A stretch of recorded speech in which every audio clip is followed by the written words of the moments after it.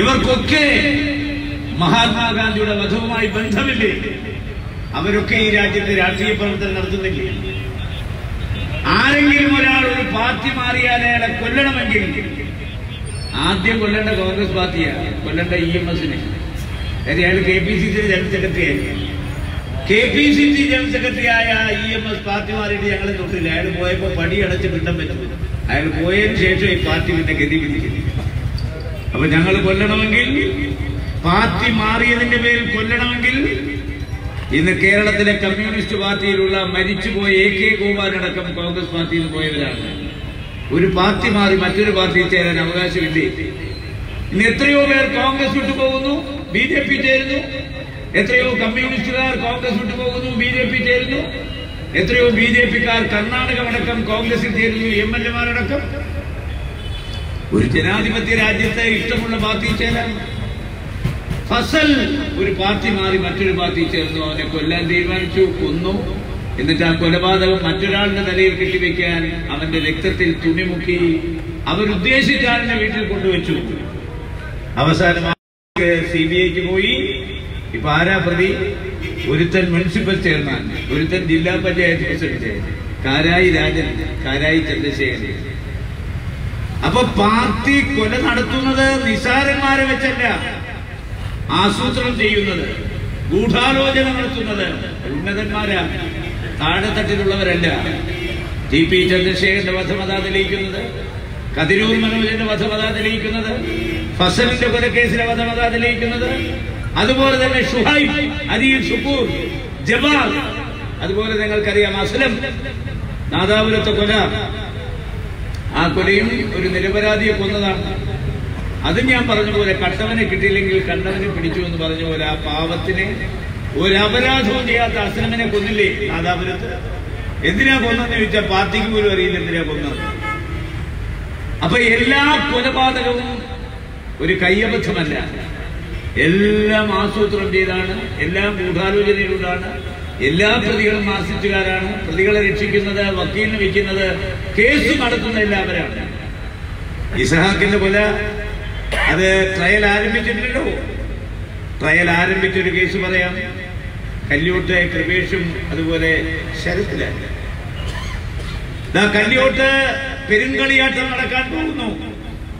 ഒരു ഉത്സവത്തിന്റെ പ്രതിയോ പ്രതീതിയോടുകൂടി മൂന്ന് കോടി രൂപയ്ക്കാണ് ഒരു നാട്ടിന്റെ അപാലവൃദ്ധം ജനങ്ങളെ അത് ആ നാടിന്റെ മാത്രമല്ല കേരളത്തിലെ ഗൾഫിലെ മുഴുവൻ ആളുകളും സമാഗമിക്കാൻ പോകുന്ന ഒരു മഹാമേള. അതാണ് കല്ലുവട്ട പെരുങ്കളിയാട്ടം. ഗൾഫ് മൊത്തം ഒഴുകിയെത്താൻ പോകുന്നു. ആ പെരുങ്കളിയാട്ടത്തിന്റെ സ്വാഗത സംഘ രൂപീകരണ ദിവസം പതിനയ്യായിരത്തോളം സ്ത്രീകൾക്ക് സദ്യ വിളമ്പി. ക്ഷീണിതരായ രണ്ട് ചെറുപ്പക്കാർ. പതിനയ്യായിരത്തോളം ആളുകൾക്ക് സദ്യ വിളമ്പുമ്പോ ആ കുട്ടികൾ ആരാന്ന് ആലോചിച്ച്? ആ നാട്ടുകാരുടെ കണ്ണനുണ്ണിയാണ് രണ്ടുപേർ കൃപേഷും ശരത്തിലാരും.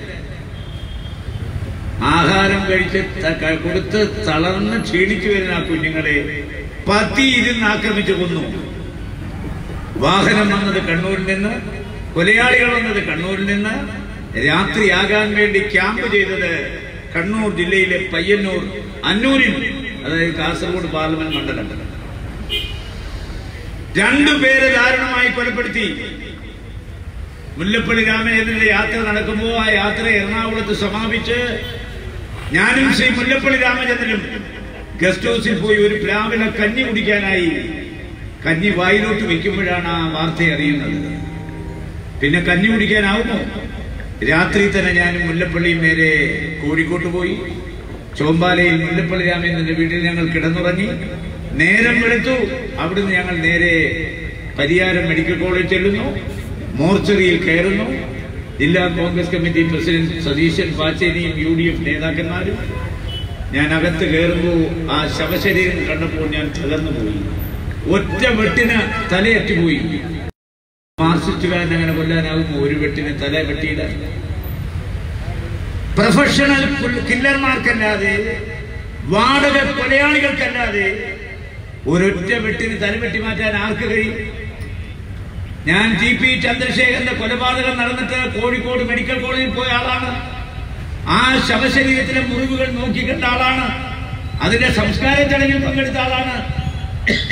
ഷുഹൈബിന്റെ ശവസംസ്കാരത്തിന് പോയ ആളാണ്. ആ ഡെഡ് കണ്ട ആളാണ്. അൻപത്തിയൊന്ന് വെട്ട് ചന്ദ്രശേഖരന് അൻപത്തിരണ്ട് വെട്ട് ഷുഹൈബിന്. അത് കഴിഞ്ഞാൽ ഒറ്റ വെട്ട് തലയേറ്റുപോയി കൃപേഷിന്റെ ശരത്തിലാലിനും ഏതാണ്ട് അൻപത് അൻപത്തിരണ്ട് വെട്ടുണ്ട്. പൊക്കിളിന് താഴെയോട്ട് ഇറച്ചി നുറുക്കുന്ന കണക്ക് നുറുക്കിയിരിക്കുകയാണ്. ഭയാനകമാണ് കാഴ്ച ഭീകരമാണ്. അതിനുശേഷം ഞങ്ങൾ കല്ലോട്ട് ചെന്നു. ഈ രണ്ടുപേരുടെയും മാതാപിതാക്കളെ കണ്ടു. കൃപേഷിന്റെ അച്ഛൻ ഈ പറഞ്ഞ പോലെ അരീം സുക്കൂറിന്റെ വാപ്പയെ പോലെ കമ്മ്യൂണിസ്റ്റ് മുല്ലപ്പള്ളിയെ കണ്ട അയാൾ വികാരാധീനായി പൊട്ടിക്കരഞ്ഞു. ഞാനും മുല്ലപ്പള്ളിയെ പൊട്ടിക്കരഞ്ഞു. ആ അച്ഛൻ പറഞ്ഞു ഈ വിരൽത്തുമ്പുകൾ കൊണ്ട് കമ്മ്യൂണിസ്റ്റ് പാർട്ടിയുടെ ചിഹ്നമായ അരിവാൾ ചുറ്റിക നക്ഷത്രത്തിനല്ലാതെ ഞാൻ വോട്ട് ചെയ്തിട്ടില്ല. ആ പിതാവ് വാവിട്ട് നിലവിളിച്ചുകൊണ്ട് പറഞ്ഞു എല്ലാ ജാഥയ്ക്കും ചെങ്കൊടി പിടിക്കുന്നവൻ ഞാനാണ് എന്റെ ഭാര്യയാണ് മാർക്സിസ്റ്റ് പാർട്ടിയുടെ ബാനർ പിടിക്കുന്നത്. കമ്മ്യൂണിസ്റ്റ് പാർട്ടിക്ക് വേണ്ടി കൊടി പിടിച്ച് പഴക്കം ചെന്ന ഈ കൈയെ കമ്മ്യൂണിസ്റ്റ് പാർട്ടിക്ക് കണ്ഠം പൊട്ടുമാർച്ചത്തിൽ മുദ്രാവാക്യം പിടിച്ച ഈ കണ്ഠം കമ്മ്യൂണിസ്റ്റ് പാർട്ടിക്കല്ലാതെ വോട്ട് രേഖപ്പെടുത്താത്ത ഈ വിരത്തുമ്പ് ഇനി ഒരിക്കലും ആ പാർട്ടിക്ക് വേണ്ടി ചലിക്കില്ല. എന്റെ നാം അനങ്ങില്ല ഞാൻ വോട്ട് ചെയ്യില്ല. എന്റെ മകന്റെ ചിത ആളിക്കത്തുമ്പോൾ ഞാൻ പിടിച്ച ഈ ചെങ്കൊടി ആ ചിതയിലേക്ക് വലിച്ചെറിയും. പിന്നെ ഈ ജന്മം ഞാനൊരു കമ്മ്യൂണിസ്റ്റ് അല്ല ഒന്ന് ആലോചിച്ച് നോക്കേ ഒരു കമ്മ്യൂണിസ്റ്റ് പാർട്ടിക്ക് വേണ്ടി ജീവിതം ഹോമിച്ച ഒരാൾ അരിയിൽ ഒരു കല്ലെടുത്തെറിഞ്ഞു. ഇയാൾ അതും ചെയ്തിട്ടില്ല. തന്റെ സഹപ്രവർത്തകനായ സുഹൃത്തായ ശരത്ലാലിനെ അവന്റെ വീട്ടിൽ കൊണ്ടാക്കാൻ പോയി ആൾ മാറി വെട്ടി എന്നാ പറയുന്നത് എന്തൊരു അപരാധമാണ് നീലാംബരൻ ഒന്നാം പ്രതി. പാർട്ടി പറഞ്ഞു കൊല നടത്തിയ ഞങ്ങളല്ല തനിയാവർത്തനം. എല്ലായിടത്തെയും തനിയാവർത്തനം. ടി പി ചന്ദ്രശേഖരൻ ഫസൽ കതിരൂർ മനോജ് ഷുഹൈബ് അരിയിൽ ഷുക്കൂർ അതുപോലെ തന്നെ മനോജ് അസ്ലം. ആരെ കൊന്നാലും പാർട്ടി പറയും ഞങ്ങളല്ല പാർട്ടിക്ക് ബന്ധമില്ല ഉണ്ടെങ്കിൽ വെച്ചേക്കില്ല. ലോകത്ത് തീവ്രവാദ പ്രവർത്തനം നടത്തുന്നവർ പൗരുഷമുള്ളവരാണ്. അവരൊക്കെ ഒറ്റ പിതാവിന് ജനിച്ചവരാണ്. ഒരു അക്രമം നടത്തിയാൽ ഒരു ഭീകരാക്രമണം നടത്തിയാൽ പിറ്റേന്ന് അവർ പറയും ഞങ്ങളാണ് നടത്തിയത്. അതിന് ആണത്വം വേണം പൗരുഷം വേണം. ഈ പാർട്ടിക്ക് ആണത്വം ഉണ്ടോ? പൗരുഷം ഉണ്ടോ? ഏതെങ്കിലും ഒരു കൊല ഞങ്ങളാണ് നടത്തിയെന്ന് പറയാൻ ആർജവമുണ്ടോ നാണം കെട്ട മാർസിറ്റ് പാർട്ടി ഏത് കൊലയും നടത്തിയിട്ട് പറയും ഞങ്ങളല്ല. ഈ കൊലയുമായി ബന്ധമില്ല. ബന്ധമുള്ള ഒരുത്തരുണ്ടെങ്കിൽ പുറത്താക്കും. പീതാംബരന്റെ ഭാര്യ ഏഷ്യാനെറ്റ് ന്യൂസിനോട് പറഞ്ഞു എന്റെ ഭർത്താവ് ആരെയും കൊല്ലില്ല അയാൾ ആരെയെങ്കിലും കൊന്നിട്ടുണ്ടെങ്കിൽ ഞങ്ങളുടെ പാർട്ടി പറഞ്ഞിട്ടാ കൊന്നത്. പാർട്ടി പറഞ്ഞാൽ അയാൾ എന്ത് ചെയ്യും? പത്ത് വയസ്സുകാരി മകൾ രാത്രി പത്ത് മണിക്ക് ഏഷ്യാനെറ്റിന് കൊടുത്ത ഇന്റർവ്യൂ. ഇന്ന് ഞാൻ സൂക്ഷിച്ചു വെച്ചിട്ടുണ്ട്. ആ കൊച്ചു പറഞ്ഞു എന്റെ അച്ഛൻ നിരപരാധിയാണ്. പാർട്ടി കൊല്ലാൻ പറഞ്ഞു അങ്ങേര് കൊന്നു. പറഞ്ഞു കുറ്റമേറ്റു. എന്റെ അച്ഛനെ ഞങ്ങളുടെ പാർട്ടി ചതിച്ചു. ഇനി ആ പാർട്ടി നിൽക്കണോ എന്ന് ഞങ്ങൾ ആലോചിക്കും. പക്ഷേ രാജ്ക്ക് രാമാനും ആ കൊച്ചിനും കുടുംബത്തിനും പണം കൊടുത്തൊതുക്കി മൊഴി മാറ്റി പറയുന്നു. പക്ഷെ ഏഷ്യാനെറ്റ് റെക്കോർഡ് ചെയ്ത മൊഴി അവിടെ കിടപ്പുണ്ട്. എന്റെ ഭർത്താവ് കൊല്ലില്ല. പാർട്ടി പറഞ്ഞാൽ കൊല്ലും. പാർട്ടി പറഞ്ഞിട്ടാണ് കൊന്നത്. എന്റെ അച്ഛൻ പാർട്ടി പറഞ്ഞിട്ട് അയാളെ കൊന്നു. രണ്ടുപേരെ കൊന്നു. കുറ്റം സമ്മതിക്കാൻ പാർട്ടി പറഞ്ഞു സമ്മതിച്ചു. എന്റെ അച്ഛനെ തള്ളി പറയുന്നു പാർട്ടി ഞങ്ങൾക്ക് ഈ പാർട്ടിയിൽ തുടരണോ എന്ന് ആലോചിക്കും ഇരുന്നൂറ്റി മുപ്പത്തിയഞ്ച് സാക്ഷി എന്നിട്ട് കേസ് പോയി. കോടതി കുറ്റപത്രം തയ്യാറാക്കി. ഇവിടുത്തെ പോലെ തന്നെ അതാ ഞാൻ പറഞ്ഞ ഇസഹാക്കിന്റെ കുറ്റപത്രം ശ്രദ്ധിച്ചോണം. ഇവന്മാരെന്ത് പണിയും കാണിക്കും ഈ പോലീസ്? കുറ്റപത്രം തയ്യാറാക്കി കോടതി ചെന്നു. കുറ്റപത്രം വായിച്ചു. കുറ്റപത്രം വായിച്ചിട്ട് കോടതി പറഞ്ഞു ഈ കുറ്റപത്രത്തിന്റെ അടിസ്ഥാനത്തിൽ ട്രയൽ നടന്നാൽ വിചാരണ നടന്നാൽ പ്രതികൾ രക്ഷപ്പെടും. കാരണം പ്രതിയുടെ മൊഴി വേദവാക്യമായി സ്വീകരിച്ചാണ് കുറ്റപത്രം തയ്യാറാക്കിയത്. നമ്മുടെ ജുഡീഷ്യറി അപമാനിക്കുന്നതല്ലേ? കോടതിയുടെ വാക്കുകൾ? പ്രോസിക്യൂഷൻ അപമാനമല്ലേ? നമ്മുടെ നാട് വ്യവസ്ഥാപിതമായ ഒരു കുറ്റാന്വേഷണ സംവിധാനമുള്ള നാടാ. നമ്മുടെ നാട് വ്യവസ്ഥാപിതമായ ഒരു ജുഡീഷ്യൽ സംവിധാനമുള്ള നാടാണ്. ഈ സംവിധാനങ്ങളിൽ ജനങ്ങൾക്കുള്ള വിശ്വാസം നഷ്ടപ്പെട്ടാൽ പിന്നെ രാജ്യം അനാർക്കിയിലേക്കാണ് അരാജകത്വത്തിലേക്കാണ്. ജനങ്ങൾ കോടതിയിൽ വിശ്വാസം നഷ്ടപ്പെട്ടാൽ ആയുധമെടുക്കും ആയുധമെടുത്താൽ പിന്നെ കലാപം ആ കലാപം അടിച്ചമർത്താൻ ഒരു പോലീസുമാവില്ല. നമ്മുടെ എല്ലാം അവസാനത്തെ അത്താണിയല്ലേ കോടതി? ആ കോടതിയാണ് പറയുന്നത് കൊലപാതകികൾക്ക് ശിക്ഷ വാങ്ങിച്ചു കൊടുക്കേണ്ട പോലീസ് പ്രതിയുടെ മൊഴി വേദവാക്യമായി സ്വീകരിച്ചു. ആര് പറഞ്ഞിട്ട്? രണ്ട് പ്രദീപന്മാരാണ് കേസന്വേഷിച്ചത് ആദ്യം ലോക്കൽ ഡിവൈഎസ്പി പ്രദീപ് രണ്ടാമത് ക്രൈംബ്രാഞ്ച് ഡിവൈഎസ്പി പ്രദീപ്. മാർസിസ്റ്റ് പാർട്ടിയുടെ ഇംഗിതത്തിനനുസരിച്ച് കുറ്റപത്രം. ആ കുറ്റപത്രം കോടതി റദ്ദാക്കി കേസ് സി ബി ഐക്ക് വിട്ടു. കഴിഞ്ഞ മാസം മുപ്പതാം തീയതി സി ബി ഐക്ക് വിട്ടുകൊണ്ടുള്ള ഉത്തരവ് കോടതി പുറപ്പെടുവിച്ചു. മഞ്ചേശ്വരം അടക്കം അഞ്ച് ഇലക്ഷൻ നടക്കുന്നു. കമാന്നൊരക്ഷരം മുഖ്യമന്ത്രി പറഞ്ഞില്ല പാർട്ടി പറഞ്ഞില്ല ഗവൺമെന്റ് പറഞ്ഞില്ല. പക്ഷേ സി ബി ഐ കേരളത്തിലെ ഡി ജി പിക്ക് കത്തയച്ചു. കേസ് ഡയറി കൈമാറണം ഞങ്ങൾ കേസ് ഏറ്റെടുത്തു. കോടതി ഉത്തരവ് പാലിക്കുന്നു. മുല്ലപ്പള്ളി രാമചന്ദ്രൻ പറഞ്ഞു ഇയാൾ ലോക്കൽ കമ്മിറ്റി സെക്രട്ടറിയാണ് ലോക്കൽ കമ്മിറ്റി സെക്രട്ടറി അല്ല അതിനേക്കാൾ തറയാ. ബ്രാഞ്ച് കമ്മിറ്റി സെക്രട്ടറി ആകാൻ യോഗ്യതയില്ലാത്തവനാണ് കേരളത്തിലെ ഡി ജി പി എന്താ തർക്കം? എന്താ തർക്കം? കേരളത്തിലെ മുഖ്യമന്ത്രിക്ക് ഹലേലിയ പാടുന്ന കുഴലൂത്ത് നടത്തുന്ന ആ യൂണിഫോം അഴിച്ചു വെച്ച് ഈ മാർക്സിസ്റ്റ് സഹാക്കന്മാർ ഊട്ടുമാർച്ച് നടത്തുന്ന ആ യൂണിഫോം ബഹറ ധരിക്കുന്ന കാലം കഴിഞ്ഞു. ആ ബഹ്റയോട് സി ബി ഐ പറഞ്ഞു ഞങ്ങൾ കല്യാട്ട കൊലപാതകം ഏറ്റെടുക്കുന്നു. കേസ് ഡയറി ഉടൻ മാറണം എഫ്ഐആർ ഇടാൻ. കുറ്റപത്രം തയ്യാറാക്കാൻ. മറുപടി കൊടുത്തില്ല. കേരളത്തിലെ ഡി ജി പിക്ക് കത്തെഴുതി മറുപടി കിട്ടാതെ വന്നപ്പോൾ സി ബി ഐ കേസ് അന്വേഷിച്ച ക്രൈംബ്രാഞ്ചിന് കത്തെഴുതി. ആദ്യത്തെ കത്ത് മൂന്നാം തീയതി രണ്ടാമത്തെ കത്ത് അഞ്ചാം തീയതി. ഈ നിമിഷം വരെ കുറ്റപത്രം തയ്യാറാക്കാൻ കേസ് ഡയറി കൊടുത്തില്ല അന്വേഷിക്കാൻ? എന്താ സംഭവിച്ചത്? കേസ് ഡയറി കൊടുക്കാൻ വന്നപ്പോൾ സി ബി ഐ കേസ് സ്വയം ഏറ്റെടുത്ത് ഇന്നലെ കല്യോട്ട് വന്ന ആ മരിച്ചുപോയവരുടെയൊക്കെ അമ്മയെ അച്ഛ- അച്ഛനെ കണ്ടു മൊഴിയെടുത്തു പെങ്ങന്മാരെ കണ്ടു മൊഴിയെടുത്തു. അവർ കേസ് അന്വേഷണം ആരംഭിച്ചു. ഒന്ന് ആലോചിച്ച് നോക്ക്. ഇതൊക്കെ രാഷ്ട്രീയ കൊലപാതകം പോട്ടെ. പതിമൂന്ന് വയസ്സുള്ള ഒരു പെൺകുട്ടി പാർശ്വവൽക്കരിക്കപ്പെട്ട പെൺകുട്ടി ദളിത് സമൂഹത്തിന്റെ പെൺകുട്ടി. രണ്ട് പെൺകുട്ടികൾ ഒരു അമ്മയ്ക്ക് പതിമൂന്ന് ഒമ്പത് രണ്ടും ദളിത്. വളയാർ അച്യുതാനന്ദന്റെ നാട്. രണ്ട് കുട്ടികൾ ദാരുണമായി ബലാത്സംഗം ചെയ്യപ്പെട്ടു. ആദ്യത്തെ കുട്ടി ബലാത്സംഗം ചെയ്തു ആദ്യത്തെ കുട്ടി അപമാനിതരായി അവൾ ആത്മഹത്യ ചെയ്തു. പോലീസ് അന്വേഷിച്ചില്ല എഫ്ഐആർ ഇട്ടില്ല കേസെടുത്തില്ല ഒരു ചുക്കും ചെയ്തില്ല. ജനവികാരം ആളിക്കത്തി. പത്രത്തിൽ വാർത്തകൾ വന്നു ചാനലുകാർ ഏറ്റെടുത്തു സോഷ്യൽ മീഡിയ ഏറ്റെടുത്തു.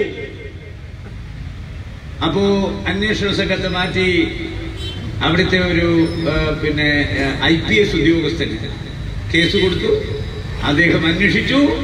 പ്രതികളെ പിടിക്കുമെന്നായപ്പോ അദ്ദേഹത്തെ മാറ്റി. അൻപത്തിരണ്ട് ദിവസം പ്രതികളെ പിടിച്ചില്ല. പ്രതികൾ വീണ്ടും ആ വീട്ടിൽ കയറി കൂടി അമ്മയുമായി സ്നേഹത്തിലായി. രണ്ടാമത്തെ കുട്ടിയെ പീഡിപ്പിച്ചു. ഒമ്പത് വയസ്സുകാരിയും ചേച്ചിയെ പോലെ തൂങ്ങിച്ചെത്തു. ഒരു വീട്ടിൽ രണ്ട് പെൺകുട്ടികൾ രണ്ടും പാർശ്വവൽക്കരിക്കപ്പെട്ടവർ ദലിത് സമൂഹം രണ്ടുപേരെയും ബലാത്സംഗം ചെയ്തു. രണ്ടുപേരെയും പ്രകൃതി വിരുദ്ധ നടപടികൾക്ക് വിധേയമാക്കി. എന്താ വിധി? കേസ് നടന്നു കോടതി വിധി പറഞ്ഞു. കോടതി പറഞ്ഞു രണ്ട് കുട്ടികളെയും മാനഭംഗപ്പെടുത്തി കോടതിക്ക് ബോധ്യമായി. കോടതി പറഞ്ഞു രണ്ടു കുട്ടികളെയും പ്രകൃതി വിരുദ്ധ നടപടികൾക്ക് വിധേയമാക്കി. കോടതിക്ക് ബോധ്യമായി കുറ്റം സംശയാതീതമായി തെളിയിക്കപ്പെട്ടിരിക്കുന്നു. കോടതി പറയാ പക്ഷേ ശിക്ഷ വിധിക്കാൻ ആവശ്യമായ തെളിവുകൾ ഹാജരാക്കാൻ പ്രോസിക്യൂഷൻ പരാജയപ്പെട്ടതുകൊണ്ട് ഒന്ന് ആലോചിച്ച് നോക്ക്. കോടതിയുടെ വിധിപ്പകർപ്പിൽ പറയുന്നു കുട്ടികൾ രണ്ടും മാനഭംഗത്തിന് ഇരയായി. നമ്പർ വൺ നമ്പർ ടു കുട്ടികളെ രണ്ടുപേരെയും പ്രകൃതി വിരുദ്ധ നടപടികൾക്ക് വിധേയമാക്കി. നമ്പർ ത്രീ പ്രതികൾ കോടതിക്ക് ബോധ്യമായി. പക്ഷേ ശിക്ഷ വിധിക്കാൻ ആവശ്യമായ തെളിവുകൾ ഹാജരാക്കാൻ പ്രോസിക്യൂഷൻ പരാജയപ്പെട്ടു. അതുകൊണ്ട് പ്രതികളെ വെറുതെ വിളിക്കുന്നു ആരാ പ്രോസിക്യൂഷൻ പ്രോസിക്യൂഷൻ അപ്പോസ്തലനാരാ അഡ്വക്കേറ്റ് ജനറൽ. ആരായാൽ സുധാകര പ്രസാദ്. ഇപ്പൊ ആരാ പിണറായി വിജയന്റെ ക്യാബിനറ്റിലെ ഒരു മന്ത്രിക്ക് സമാനൻ. സ്റ്റേറ്റുകാർ മന്ത്രി പദവി ഇരുപത്തിയേഴ് സ്റ്റാഫ്.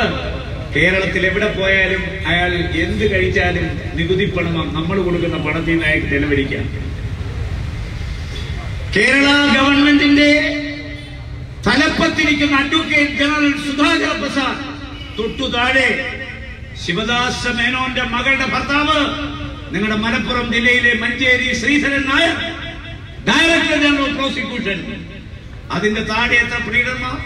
എത്ര പ്രോസിക്യൂട്ടർമാർ എത്ര ലക്ഷം രൂപ? കേരളത്തിലെ നിന്ന് ഈ സുധാകര പ്രസാദ് ഈ പറയപ്പെടുന്ന അഡ്വക്കേറ്റ് ഈ പറയപ്പെടുന്ന ഡയറക്ടർ പ്രോസിക്യൂഷൻ ഈ പറയപ്പെടുന്ന പ്രീഡർമാർ ഈ പറയപ്പെടുന്ന പ്രോസിക്യൂട്ടർമാർ തെളിവ് ഹാജരാക്കാൻ പ്രോസിക്യൂഷൻ പരാജയപ്പെട്ടെന്ന് പറഞ്ഞാൽ ഇവരൊക്കെ ഈ പണി നിർത്തിയിട്ട് രാമേശ്വരത്തെ പണിക്ക് പോകണം ശബരത്തിന്. അല്ലാതെ ഈ പണിക്ക് ഉള്ളിൽ നിന്നല്ലേ അർത്ഥം തെളിവ് ഹാജരാക്കാൻ പ്രോസിക്യൂഷന് കഴിയാത്തതുകൊണ്ട് പ്രതികളെ വെറുതെ വിട്ടു. ആ കേസ് പുനർവിചാരണ കൊടുത്തിട്ടുണ്ടോ? നിങ്ങൾ ആലോചിച്ചു നോക്കൂ. ആലോചിച്ചു നോക്കേ. മധു എന്ന് പറയുന്ന ഒരു ചെറുപ്പക്കാരൻ പാലക്കാട്ട് കൊല്ലില്ലേ കടമ്പനിട്ട രാമകൃഷ്ണൻ വാടി നിങ്ങൾ എന്റെ കറുത്ത മക്കളെ ചുട്ടുകൊല്ലുന്നു. നിങ്ങൾ അവരുടെ കറുത്ത കണ്ണുകൾ ചൂണ്ടെടുക്കുന്നു. നിങ്ങൾ അവരുടെ കുഴിമാടം കുളം തോണ്ടുന്നു. നിങ്ങൾ ഓക്കുക പിണറായി വിജയ നിങ്ങൾ എങ്ങനെ? നിങ്ങളായെന്ന് പാർശ്വവൽക്കരിക്കപ്പെട്ടവരെ കൊല്ലുകയാണ് വളഞ്ഞിട്ട് ആക്രമിക്കുകയാണ്. ബലാത്സംഗം ചെയ്യുക. പ്രതിപക്ഷ ജാമ്യം എടുക്കാൻ പോയ ആരാ? ആരാ പോയത്? ചൈൽഡ് വെൽഫെയർ കമ്മിറ്റിയുടെ ചെയർമാൻ. പോക്സോ കേസ് വന്ന കുഞ്ഞുങ്ങളെ രക്ഷിക്കേണ്ടവൻ എന്ന് പറഞ്ഞാൽ പേരെടുക്കാൻ പോയി പതിച്ച് തിരിച്ചു വരുമ്പോ അവളെ ഇരട്ട പ്രസവിച്ചിട്ടാ വന്നേ. പേരെടുക്കാനാ പോയത്? തിരിച്ചു വരുമ്പോ അവളെ പ്രസവിച്ചു രണ്ട് കുഞ്ഞുങ്ങളെ. പോക്സോ കേസ് കോടതി എതിരാ ഉണ്ടാക്കിയത്? ചൈൽഡ് വെൽഫെയർ കമ്മിറ്റി എതിരാ ഉണ്ടാക്കിയത്? കുഞ്ഞുങ്ങളെ രക്ഷിക്കാൻ. ആ കുഞ്ഞുങ്ങളെ രക്ഷിക്കേണ്ടവനാ പോക്സോ കേസിലെ പ്രതികൾക്ക് ജാമ്യം എടുക്കാൻ പോയെന്ന് പറഞ്ഞാൽ ഇതിൽ പരം അപമാനം ഉണ്ടോ? മാർസിറ്റുകാര് ഉണ്ടോ? ബി ജെ പിയും മാർക്സിസ്റ്റ് പാർട്ടിയും തമ്മിൽ ഫൈറ്റാ പക്ഷേ ഈ പറയപ്പെടുന്ന നമ്മുടെ കുഞ്ഞുങ്ങളുടെ കേസ് സി ബി ഐക്ക് വിടാതിരിക്കാൻ രണ്ട് പ്രാവശ്യം മാർക്സിസ്റ്റ് പാർട്ടി കൊണ്ടുവന്ന വക്കീലന്മാരിൽ ഒന്നാമത്തെ അടൽ ബിഹാരി വാജ്പേയി ഇന്ത്യയുടെ പ്രധാനമന്ത്രിയായിരിക്കുമ്പോൾ സോളിസിറ്റർ ജനറലായിരുന്ന രഞ്ജിത്ത്. അവൻ ഒരു ദിവസം മുപ്പത് ലക്ഷം. പിന്നെ കുടിയും കടിയും വേറെ. ഫൈവ് സ്റ്റാർ ഹോട്ടൽ വിമാന ടിക്കറ്റ്. അവന്റെ അനുചരന്മാർ പാർശ്വവർത്തികൾ തിന്നു മുടിക്കുന്നതിന്റെ കാശ് നമ്മൾ കൊടുക്കണം. എന്തിനാ? രണ്ട് കുഞ്ഞുങ്ങളെ കൊന്ന കേസ് സി ബി ഐക്ക് വിടാതിരിക്കാൻ ആദ്യം കൊണ്ടുവന്നത് solicitor general B J P. Atal Bihari Vajpayee India ഭരിച്ചപ്പോൾ solicitor general. ഇപ്പൊ രണ്ടാമത്? അയാൾക്ക് പണം കുറഞ്ഞു പോയി മുപ്പത്തഞ്ച് ലക്ഷം. അതുകൊണ്ട് അയാൾ പറഞ്ഞു ഞാനില്ല. അമ്പത് കൊടുത്തൊരു കൊണ്ടുവന്നു. അയാളാരാ? നരേന്ദ്രമോദിയുടെ ഗവൺമെന്റിൽ solicitor general B J P മാർക്സിസ്റ്റുകാരും രാ- പകൽ കണ്ടാൽ അങ്ങോട്ടും ഇങ്ങോട്ടും കൊല്ലാതിരിക്കുക. രാത്രി ആയാലോ ചങ്ങമ്പുഴ പാടിയതുപോലെ ഇരുമയാണെങ്കിൽ നമ്മളൊറ്റ കരലല്ലേ വിജയ നീ എന്റെ ജീവനല്ലേ എന്നാ നരേന്ദ്രമോദി പറയുന്നത്. തിരിച്ചങ്ങോട്ട് എന്തൊരു പ്രണയമാണെങ്കിൽ എന്തൊരു പ്രേമോ? മെനയാനത്തെ ബി ജെ പിയുടെ ജന്മഭൂമി ബിഗ് സല്യൂട്ട് എന്തിനാ ബിഗ് സല്യൂട്ട് മാവോയിസ്റ്റുകളെ വെടിവെച്ചു കൊന്നതിന് വ്യാജ ഏറ്റുമുട്ടൽ. നമ്മുടെ C B C B I director Kanan Rajan അവിടെ പോയില്ലേ? സി ബി ഐയുടെ ഒരു ഒരു സംഘം പോയില്ലേ? ആ വനത്തിൽ. കാനൻ രാജൻ പറഞ്ഞത് എഴുന്നേറ്റ് നടക്കാൻ വയ്യാതെ നടു തളർന്നു കിടക്കുന്ന ഒരുത്തനെ മരുന്ന് കൊടുക്കാൻ മൂത്തിരുത്തേക്ക് അവനെ വെടിവെച്ചു എന്നിട്ട് പറയാം ഏറ്റുമുട്ടുന്നത് നടു തളർന്നിരിക്കുന്ന ഒരുത്തനെ കൊന്നത് എന്നാലോചിച്ച് നോക്ക്. ആരാ കൊന്നത്? മാവോയിസ്റ്റുകളെ കൊന്നു. വീരവാദം എടുക്കുക മാവോയിസ്റ്റുകളെ കൊന്നൊടുക്കിയ പിണറായി വിജയന് ബിഗ് സല്യൂട്ട് ആരാ? ബി ജെ പിയുടെ പത്രം. ഇവിടെ എല്ലാം നിങ്ങൾ പോയി നോക്കി അവന്മാർ കൊണ്ടു ഒരു തല. ഏതാ തല? എ കെ ജിയുടെ? അല്ലെങ്കിൽ ഇ എം എസിന്റെ? യവന്മാരുടെ സമ്മേളനം വന്നാൽ ഒരൊറ്റ ഇന്ത്യക്കാരന്റെ തല ഒന്നിൽ വെച്ചിട്ടുണ്ടോ എവിടെങ്കിലും ഒരു പടത്തിൽ? എല്ലാ വിദേശികളാണ്. ഒരു ഇന്ത്യക്കാരനെ കാണിച്ചതോ? കമ്മ്യൂണിസ്റ്റുകാരന്റെ ഒരു സമ്മേളനത്തിൽ? ഡിവൈഫൈ കൊണ്ടു നടക്കുന്നത് ബൊളീവിയൻ കാടുകളിൽ ഏറ്റവും വലിയ തീവ്രവാദി ചെഗുവേല. അവൻ എത്ര പേരെ കൊന്നു? ലോകം കണ്ടിട്ടുള്ളതിൽ വെച്ച് ഏറ്റവും വലിയ തീവ്രവാദിയായ ചെഗുവേര ക്യൂബയിലെ ഫിഡിൽ കാസ്ട്രോയുടെ ക്യാബിനറ്റിലുണ്ടായിരുന്ന ചെഗുവേര വീണ്ടും മൂഷികസ്ത്രീ മൂഷികസ്ത്രീ എന്ന് പറഞ്ഞ പോലെ വീണ്ടും മനുഷ്യനെ കൊന്നൊടുക്കാൻ പോയി അവനെ വെടിവെച്ച് കൊന്നു. അവന്റെ തലയും വെച്ചുകൊണ്ട് മാർസിസ്റ്റുകാർ നടക്കുന്നുണ്ടെത്തുന്നു ഇവൻ ഇന്ത്യൻ സാധ്യ സമരത്തിൽ പങ്കെടുത്ത് ബ്രിട്ടീഷുകാർ തട്ടിയവനാണ്. ഇവർക്ക് ഈ ചെകുവേരെ കൊണ്ട് നടക്കാൻ മാവോയിസ്റ്റുകളെ കൊല്ലണം എന്ന് ആരെങ്കിലും പറഞ്ഞു? മാവോയിസത്തോട് നമുക്ക് യോജിപ്പില്ല. പക്ഷേ ഒരു ജുഡീഷ്യൽ സംവിധാനം നിലനിൽക്കുന്ന രാജ്യത്ത് കുറ്റവാളികളെ കിട്ടിയാൽ വിചാരണ നടത്തണം.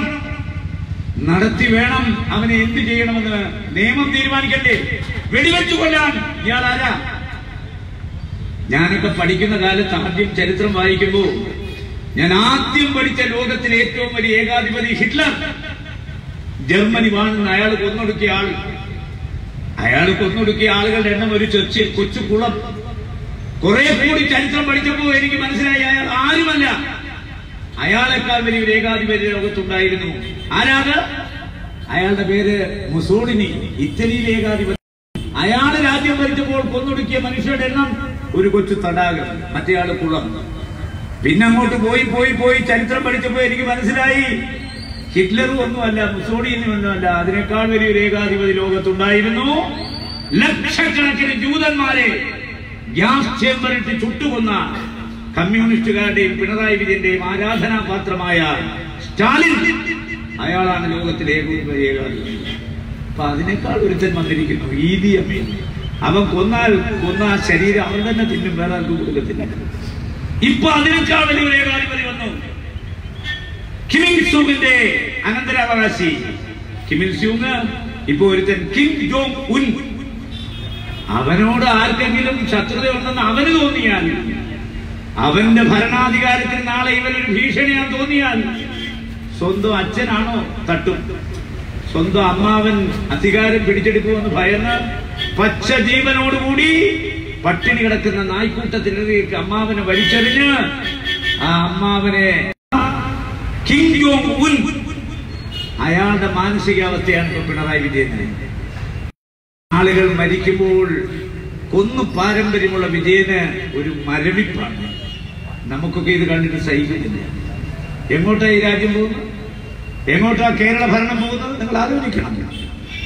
അപ്പൊ ഇതുകൊണ്ട് പിണറായി വിജയനോട് ഞാൻ പറയാം പഞ്ചാഗ്രി മധ്യേ തപസ്സിരുന്നാലും നിങ്ങൾ ചെയ്യുന്ന പാപകർമ്മത്തിന് പ്രതിക്രിയാവില്ല mister Vijayan.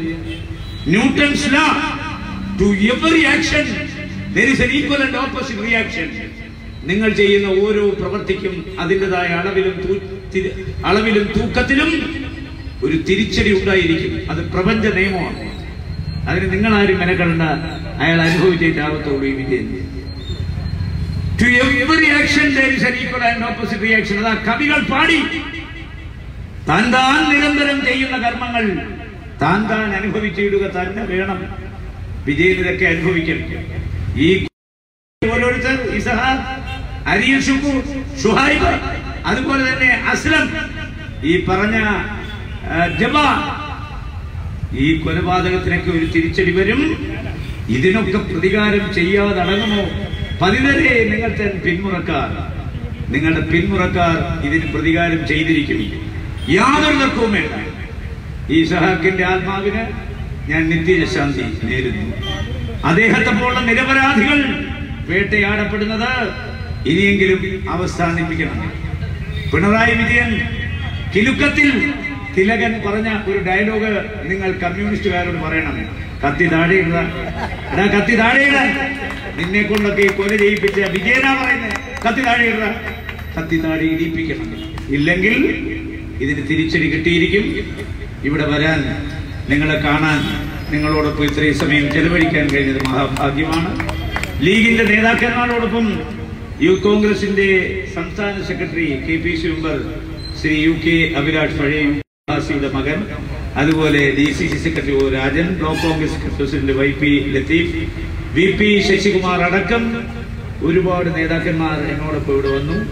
നിങ്ങളെ എല്ലാവർക്കും സർവശക്തനായ തമ്പുരാൻ നന്മ വരുത്തട്ടെ എന്ന് പ്രാർത്ഥിച്ചുകൊണ്ട് ഈ സഹാക്കിന്റെ ആത്മാവിന് ശാന്തി നേർന്നുകൊണ്ട് ഇനി ഇത്തരം കിരാതമായ കൊലപാതകങ്ങൾ ഒരിക്കലും ആവർത്തിക്കപ്പെടാതിരിക്കട്ടെ എന്ന് പ്രാർത്ഥിച്ചുകൊണ്ട് ഈ കുടുംബത്തെ എന്റെ അനുശോചനം അറിയിക്കുന്നു ദുഃഖം അറിയിക്കുന്നു. ഇനി അത്യുജ്വല പ്രഭാഷണം നടത്താൻ നമ്മുടെ യുവ നേതാവ് ശ്രീ ഫിറോസ് എത്തിയിട്ടുണ്ട്. ഞാൻ നാളെ ഒരു ദിവസം ഇന്ന് ഞാൻ ആവുന്നേരത്ത് നോക്കിയതാണ്. ഇതിന് വരാതിരിക്കാൻ മറ്റേന്നാ പാർലമെന്റ് ആരംഭിക്കുകയാണ്. ഇനി നാളെ തിരുവനന്തപുരത്ത് പോയി സകലതും പാക്ക് ചെയ്ത് മറ്റന്നാൾ രാവിലെ ഡൽഹിയിൽ പോയിട്ട് വേണം പാർലമെന്റിൽ കയറാൻ.